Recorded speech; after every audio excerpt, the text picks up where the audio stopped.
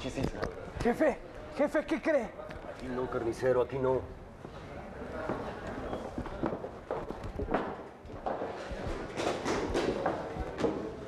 Fíjese que la enamorada del periodista, a que ni sabe. ¿Sabes que, que cómo detesto las adivinanzas? Suéltalo. Mire, o sea, el caso es que hoy en la mañana pues seguimos a la nenorra esa, ¿no? Y pues la vimos entrar a una casa de unos ricachones.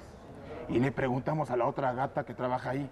Y nos dijo que la chava del periodista es sirvienta de medio tiempo en esa casa. Y que el picudo que vive ahí se llama Lorenzo Domenzain. Domenzain.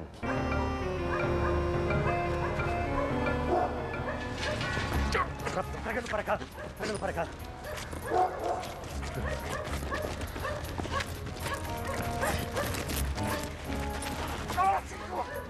Llegó tu hora!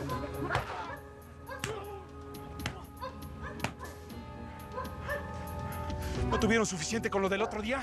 ¿Eh? Ahora es diferente, reporterito. Ahora es definitivo. Perico. ¡Perico!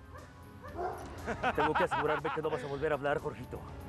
Te voy a callar la boca para siempre. Eres un cobarde. Ah, puede que sí, puede que sí.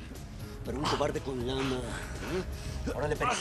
Explícale su esquema aquí a este periodista. ¡Suéltalo!